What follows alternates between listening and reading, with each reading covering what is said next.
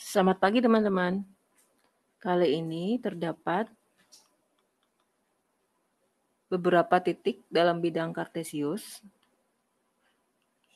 Gambar dengan titik koordinat kartesius.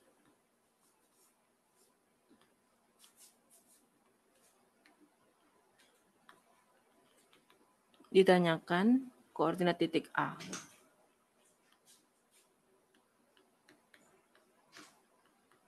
Untuk cara menjawabnya sebagai berikut.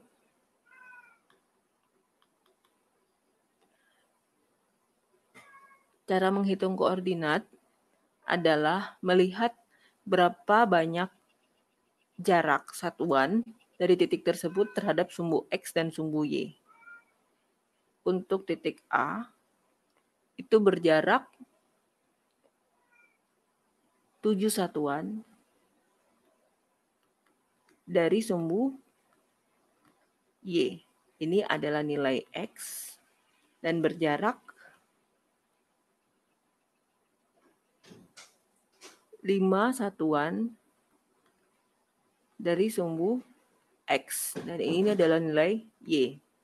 Sehingga bisa disebutkan bahwa koordinat titik A adalah 7,5. Jadi jawabannya adalah C.